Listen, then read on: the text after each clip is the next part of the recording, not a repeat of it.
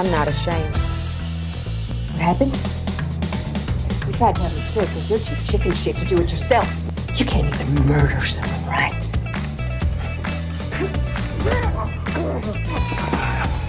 Get on your knees.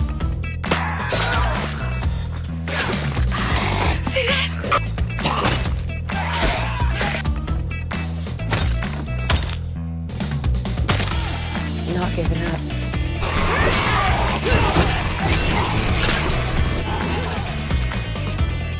The only regret I have is that Nikki was not in our home now. You'll learn to start to call me by my name. Not Marcia, not dear, not honey.